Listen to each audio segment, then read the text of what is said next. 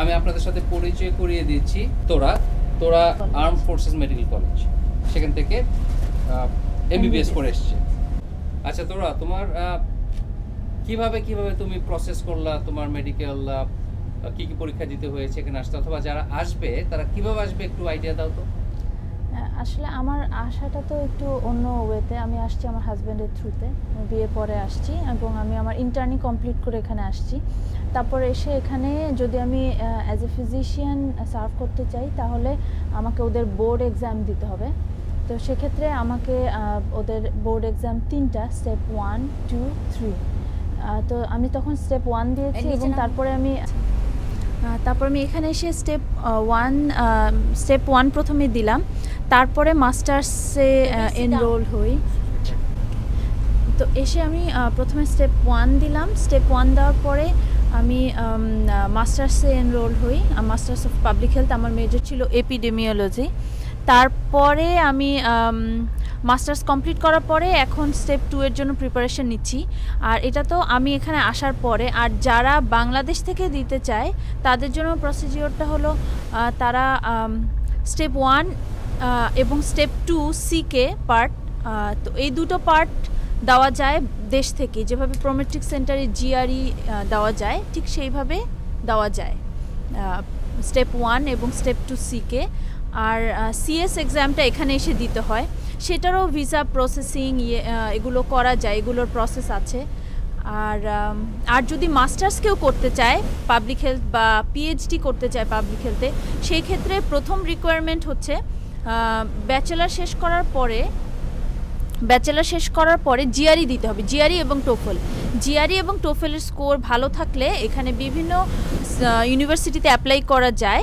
সেই অনুযায়ী অ্যাপ্লাই করার পরে যেখান থেকে কনফার্মেশন লেটার পাওয়া যায়, সেখানেই তাদের থ্রুতে ভিসা প্রসেসিং সেগুলো সব করা যাবে। আমাদের মোটামুটি একটা আইডিয়া হলো যে কীভাবে যারা ঢাকায় অথবা বাংলাদেশে এমবিবিএস পাস করেছেন, এরপর স্টেপগুলো কি হবে? সো প্রথমেই যেটা দিতে হবে জিআরই আর টোফেল সেটা দেওয়ার পর আপনি বিভিন্ন মেডিকেল স্কুলের সাথে যোগাযোগ করবেন। আপনি শুধু যে মেডিকেল পড়তে আসতে হবে কোনো কথা নেই মাস্টার্স এখানে এসে করতে পারেন। তারপর আবার স্টেপ ওয়ান স্টেপ টু বাংলাদেশে দিয়ে যদি আসেন, সেটা সুবিধা হবে বেশি। তাহলে এখানে মনে হয় কষ্ট কম, খরচও কম। তারপর আপনি এখান থেকে ইউ ক্যান মুভ অন এখানে বিভিন্নভাবে কাজ করা যায়, যেমন তোরা সে কাজ করবে সিডিসিতে তার কাজ করার প্ল্যান তো আমার মনে হয় আপনাদের এই ইনফরমেশনগুলো একটু হেল্পফুল হবে। হেল্পফুল হলেই my video is worth it আসসালামু আলাইকুম। কি বাবা? হ্যাঁ হ্যাঁ। সে তো ডিস্টার্ব করবে আপনাকে। হ্যাঁ হ্যাঁ। হ্যাঁ এটা হলো প্যারিস এরিফেল টাওয়ার ইয়াস বলো তোমার নাতনি এটা? হ্যাঁ।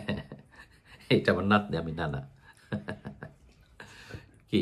আচ্ছা তো আপনারা তো তোরার সাথে আপনাদের পরিচয় হয়েছে তো ওর কাছ থেকে আমি অনেক ডিটেল জানলাম যে কীভাবে আমেরিকাতে মেডিকেল স্টাডিজ করতে আসা যায় এবং কি কি স্টেপ নিতে হবে, কি কি করতে হবে। এখন প্রথমত আপনার সিদ্ধান্ত নিতে হবে যে আপনি আসলে কি করতে যাবেন। আপনি কি এখানে মেডিকেল প্র্যাকটিস করবেন প্র্যাকটিস করবেন পেশেন্ট দেখবেন? পেশেন্টের সাথে সরাসরি যোগাযোগ? নাকি আপনি অ্যাডমিনিস্ট্রেটিভ অথবা অন্য সাইডে চলে যাবেন, যেটা নাকি আপনার পাবলিক হেলথ সার্ভিসেস যেটা আসে, সেটা করবেন। তো দুইটার জন্য দুই ধরনের স্টেপ আপনি নিতে হবে। আপনি যদি পাবলিক হেলথ ইসে চলে আসতে চান ডিপার্টমেন্টে তাহলে আপনার, যেটা আপনি সরাসরি পেশেন্টদের ট্রিট করবেন না, অথবা সরাসরি, তো যারা পাবলিক হেলথ সার্ভিসেস সেক্টর আসতে চান, তো তাদের আসতে হবে এখানে এমবিবিএস পাস করার পর আপনি জিআরই দিবেন টোফেল দিবেন, দিয়ে ইউনিভার্সিটি অ্যাডমিশন নেবেন মাস্টার্স পিএইচডি প্রোগ্রামে এবং সেটা হলো এক লাইন আর আরেকটা হলো যারা নাকি আপনার সরাসরি পেশেন্ট কেয়ার যেটা আপনি মেডিসিন প্র্যাকটিস করতে চান সেটা করতে গেলে তখন আপনার ইউএসএমএলই পরীক্ষা দিতে হবে। এবং সেটার অনেকগুলি পার্ট আছে। আপনি step one step two step three step ওয়ানটা আপনি বাংলাদেশে দিতে পারেন। স্টেপ টু এরও আপনি সি কে যে পার্টটা আছে সেটা দিতে পারেন কিন্তু স্টেপ টু এর যে আরেকটা পার্ট আছে সি এস সেটা দিতে আপনার আমেরিকাতে আসতে হবে। তো আপনি স্টেপ টু এর সি এস অংশটা এবং স্টেপ থ্রি এটা আপনি আমেরিকা এসে দিবেন। আর সেটা করতে হলে আপনার ভিসা আপনি নেবেন। এটা অ্যাপ্লাই করে যে পরীক্ষার জন্য আপনি টেস্ট পরীক্ষাটা দিবেন। এবং ভিসা নিয়ে আমেরিকা আসার পরে আপনার তখন হ্যাঁ বেবি গুড আপনি তখন এখানে এসে পরীক্ষা দেবেন। এখন এই ইউএসএমএল এর এই যে পরীক্ষার জন্য প্রিপারেশন সেটা আপনার একদিন, দুই দিন, এক মাস, দুই মাসের না, এটা আপনার প্রায় এক বছর লেগে যায় প্রিপেয়ার হতে। তো এটা বেশ খুব একটা সহজ একটা ব্যাপার না। যাই হোক, যেমন জিআরই টোফেলের জন্য প্রিপারেশন এক মাস, দুই মাসের মধ্যে হয়ে যায় বাট এটা এটা একটু অনেক অনেক বেশি ডিটেল তো আপনার ফাইন্যান্স থাকতে হবে, আপনার ফাইন্যান্সিং ব্যাকআপ থাকতে হবে। যেন আপনি আমেরিকা আসার পরে যে পরীক্ষার জন্য প্রিপারেশন নেবেন। আপনারা চাইলে বাংলাদেশেও এই পরীক্ষাটার প্রিপারেশন নিতে পারেন। তাহলে কিন্তু আপনাদের ফাইন্যান্সিয়ালি একটু সহজ হয়ে যাবে। এই জন্যে এখানে এসে যদি আপনি প্রিপারেশন নিতে যান, তাহলে আপনার সমস্ত এক বছরে যে থাকা খাওয়ার খরচ, সেটার একটা ব্যাপার আছে। কিন্তু বাংলাদেশে তো সেটা অত খরচ হবে না। আর বাংলাদেশের আপনার ওই নীলক্ষেতে মোটামুটি সব ধরনের বই বই কিনতে পাওয়া যায়, যেটা আপনার সেখান থেকে কালেক্ট করে নিতে পারেন। তো মোটামুটি এইটাই আসলে প্রসেসটা এখন আপনার যেটা মেডিকেল বোর্ড এক্সাম যেটা বলে, সেটা আসলে ইউএস ইউএস এমএলই এইটা না দেওয়া পর্যন্ত আপনি আসলে ইন্টার্নশিপ তো পাচ্ছেন না। তো